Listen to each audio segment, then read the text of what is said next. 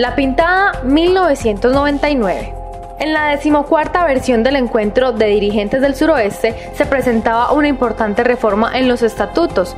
Dejó de ser una asociación y pasó a ser una corporación, lo cual le permitiría ofrecer y contratar servicios.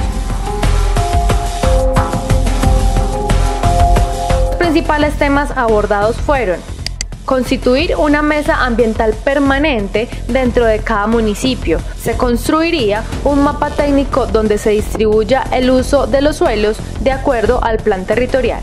Se propuso convocar a entidades e instituciones que puedan crear un proyecto educativo que permita la construcción colectiva desde la familia, la escuela y la comunidad, un proyecto que forme al ser para el trabajo productivo.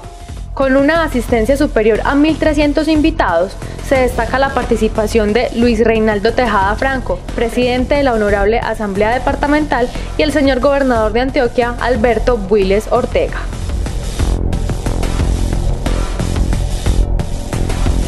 Somos la corporación Encuentro de Dirigentes del Suroeste Antioqueño y te acercamos a los principales hechos que han sucedido en la región.